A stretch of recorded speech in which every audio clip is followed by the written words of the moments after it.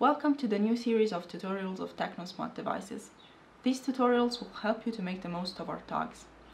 In this video, we will walk you through the use of our accelerometer GPS tag, the AxyTrek. This device can record paired GPS and acceleration data with a very small size and weight. Our highly sensitive GPS performs well even in wooded or urban areas and activity budgets can be calculated from accelerometer data independently of location and environmental conditions. These two sensors complement each other and allow you to get a complete overview of your study species behavior. We have developed two versions of the AxyTrek, AxyMarine and AxyMini. AxyTrek Mini weighs only 1.6 grams without battery and is ideal if small size is key. AxyTrek Marine has been designed for seabirds and other marine animals but has been used successfully on terrestrial species as well. It's your best option if you need maximum waterproofing and sturdiness. The latter two can be programmed to condition GPS recording, saving battery and allowing for longer recordings. Moreover, all sensors can be custom scheduled and you can choose to delay the start of the recording. To switch on the device, swipe the magnet close to the tag. It will blink at 1 Hz until it has found a GPS connection. After 20 seconds, the device has started recording. If you swipe the magnet now, the LED will turn on for 1 second and then turn off again. This won't affect the device which will remain on and will keep recording. To switch off the device, hold the magnet close until the LED turns off, then move it away very quickly. The switching off is signaled by a long blink followed by three fast ones. Now let's configure our device. First, make sure you have a Software X Manager installed. If not, go to our website technosmart.eu, go on Support, Download, and download the X Manager software and install it. Connect the device to the cable this way. Pay attention to the cable LED lights. They need to be on the same side as those on the tag. Now launch X Manager. Select the COM port here. Swipe the magnet on the device until it starts to blink once per second and click connect. Now you're connected to your Axi 5. Now let's configure the GPS. Click here to read the current GPS settings. Here you can choose to set a daily or weekly schedule.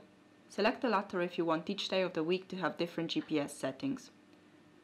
Then set up to 5 intervals per day. For each interval, you can set the GPS to record at a certain frequency or to be off.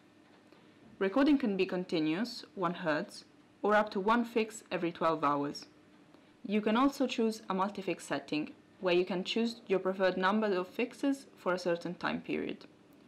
Once finished with scheduling, under the Settings tab you can set a start delay either in minutes from switch on or by setting a date. The acquisition settings affect the GPS functioning. The on time is the maximum time spent searching for a signal, while the off time is the time spent in sleep in case no signal is found. This section refers to the conductivity sensor. If present, raw data recording needs to be enabled. If not, leave it unchecked. The remote tab is only relevant if you have a remote AxyTrek, and is explained in this other video. Here you can save the schedule and load it to configure the tags in the same way. Remember to send settings to the unit. To configure the AxyTrek accelerometer, click here. You can set different parameters such as sample rate, G full scale and resolution. You can also choose to record in bursts. This allows you to save memory in case you don't need continuous accelerometer recording. Here you can enable the internal or, if available, the external temperature and pressure sensors. We have a variety of external sensors that can be mounted on this tag depending on your needs. To activate GPS recording only when the animal is actively moving, you can set a movement threshold here.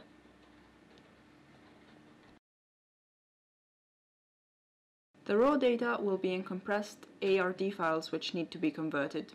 Keep in mind that if your AxyTrek comes with a pressure sensor, before converting it, you need to open the general settings and select what kind of sensor you have, whether air or depth. Then click on convert and choose the file. A window with several options pops up. The conversion settings are rather self-explanatory. Check these last two options if in addition to the complete CSV you'd like the GPS data to be also in a separate file. This tag has an internal clock which synchronizes with the system time on your computer when it's first connected. If for whatever reason you need to override the internal device time, you can check this box and set a custom start time. Then choose whether you want your data in millibars or converted to meters above sea level. For that, you'll need to set the air pressure value at sea level as a reference. If you're planning to upload your data in Movebank, click here to automatically choose settings that are compatible with their requirements. Once you're ready, click on Done. The blue bar now shows the conversion progress. The converted data will be in the same folder as the raw files. You'll have a CSV, an additional TXT and KML if you have selected the option. Thank you for watching this tutorial. If you have any questions or comments, please get in touch.